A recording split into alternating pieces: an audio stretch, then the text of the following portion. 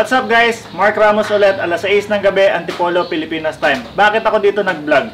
Kasi may napansin ako dun sa isang post ni Colonel Bong Nebria, isang enforcer niya ang nakahuli ng isang motorista doon sa EDSA na walang helmet at nakachinelas. Good job po kayo dyan. Hindi po namin yan um, kinakalaban. Good job po kayo dyan. Ang medyo masakit lang po sa aking mata, eh, yung nakita ko yung plaka ng enforcer. So, kung napapansin nyo, meron ako nilagay na karton dito. Yan. Yung set ng camera na yan, dyan sa lugar na yan, mapapansin nyo, nakataas naman tong karton na to, pero sa mata nyo, hindi na visible, di ba? Sa paningin nyo, hindi na visible. Lalong-lalo na kung ang sasakyan mo ay SUV. So, yung plate number ni traffic enforcer is may obstruction.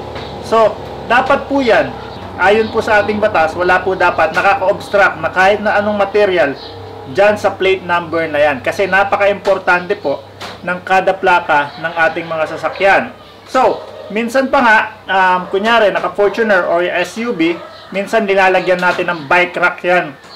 Yung, yung mga sasakyan natin sa likod. So, pag natatakpan po ng mga bisikleta nyo yon or kahit na anong nakasakay dun sa sasakyan nyo yun, pwede po kayong harangin at tikitan ng mga enforcer. So, kung napapansin nyo po, yung etong karton na to, na nilagay ko, ganyan na ganyan po, yung pagkakaayos, nung nasa picture na ipapakita ko sa inyo, ganyan na ganyan po yung pagkakalagay nung isang plaka po. Kasi, bakit ko alam, nung maliit pa yung motor ko, meron din akong ganon.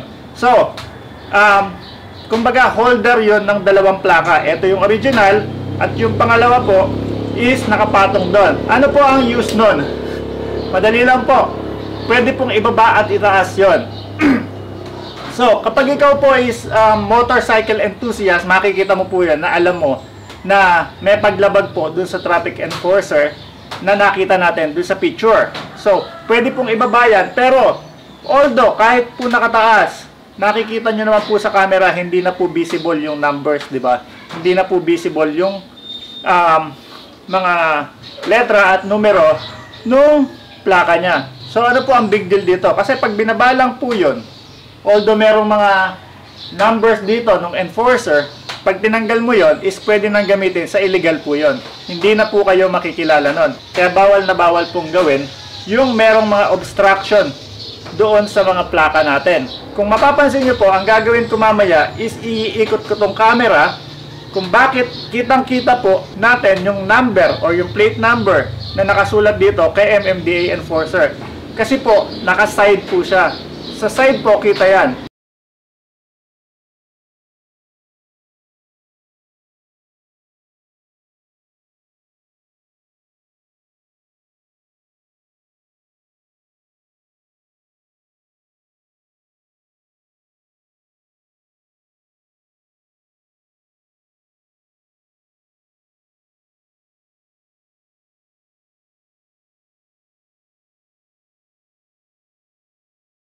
Pero po, kapag sa pag sa likod po, obstruction na po yan. Hindi na po kita yan. So, pwede pong magamit sa illegal yung motor na yon. Kahit anong sasakyan po na may dobleng plaka ng ganon, ibaba mo lang, ibaba mo yan, hindi nakita. So, ano, ano po ang ibig ko sabihin na to? Dapat po, kapag nagpo-post sila ng mga ganon, siguraduhin po nila na wala silang violation na nalalabag. Hindi na po kasi uso ngayon na porket police ka or porket enforcer ka is above the law ka. Hindi na po uso yon. Sa panahon po ngayon, hindi na po uso yung lalabas ka ng kalsada, walang helmet, nagmamotor ka para pogi. Hindi na po uso ngayon. Mas um, ikakagwapo mo kapag ikaw ay naka-helmet dahil alam mo sa sarili mo na para sa protection mo din to. So sana po maging mapanuri ang MMDA dun sa mga traffic enforcers nila at nang sa ganun, eh wala kaming na-eco-content na laban sa kanila uulitin ko po, etong channel natin is hindi po um, again sa lahat ng enforcers. Pero, ang gusto lang po namin is maging pantay yung pagtingin ng mga traffic enforcers um, dun sa batas at pagpapatupad ng batas. Kung manguhuli ka sa kalsada at ikaw ay may paglabag sa batas, eh kakapalan ng mukha po talaga ang tawag doon. So, parehas na parehas po yan yung senaryo nung um, plaka ng MMDA enforcer na nasa picture po. Sa huling parte po ng video na to, ipapakita ko po sa inyo kung anong bracket nung ginamit ng enforcer para magkaroon ng ganito na pwedeng ipantakip yung panang, pangalawang plaka niya dun sa unang plaka. Ah, dahil nagkaroon na din po ako niyan dati po doon sa isang motor ko. Sinabihan ako, bawal, so tinanggal ko po ulit. Kaya itong motor ko na to, very visible po yung plaka. Diba nga po, kaya nga may isinusulong sila Senator Dick Gordon na dapat doble plaka. Isa sa harap, isa sa likod. Para visible na visible kung sino ang gumagamit ng motor. Meron kang gawing katarantaduhan o gawing labag sa batas, eh madali kang mahanap dahil kitang-kita yung plaka mo, mapicturean. Pero ikaw, MMDA, tinakpan mo pa. Although nakataas, alam ko, at alam ng mga motorcycle enthusiast na kaya mong ibaba ng ganyan yan.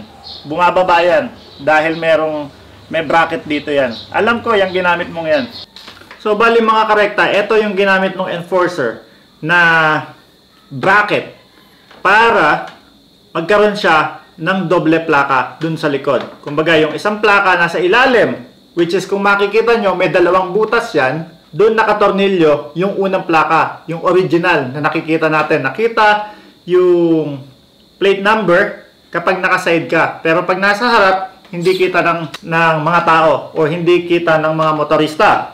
So, yung pangalawang dalawang butas na nakikita nyo, bali apat na butas ang nakikita nyo dyan, yung pangalawang dalawang butas, doon naman nakatornilyo yung pangtakip na plaka, which is kung makikita nyo, ang nakasulat is number 12. So, ito yung bracket na ginamit ko din dati nang hindi ko pa alam na bawal pala to. So, kung kayo po eh may motorsiklo at gumagamit kayo ng ganito at may pangalawang plaka po na nakaka-obstruct dun sa paningin ng tao, dun sa plaka nyo, tanggalin nyo na po to. Dahil pwede po kayo maharang at pag napansin ng enforcer, baka mahuli pa kayo at matikitan kayo.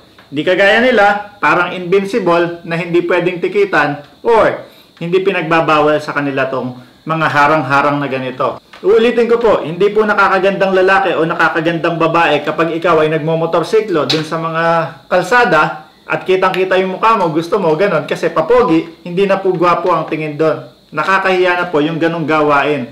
Unang-una po, para na din po yun sa safety nyo. Lahat po ng bawal, lahat po ng labag sa batas, nakakahiya na pong gawin sa panahon ngayon. Lalong-lalo na po, lahat ng tao may cellphone at may camera. So hanggang dito na lang po. Um, comment down below kung gusto nyo pong sumali dun sa action camera natin. Lagyan nyo na din po ng hashtag support Colonel Bosita. Maraming salamat po. God bless. Have a good night.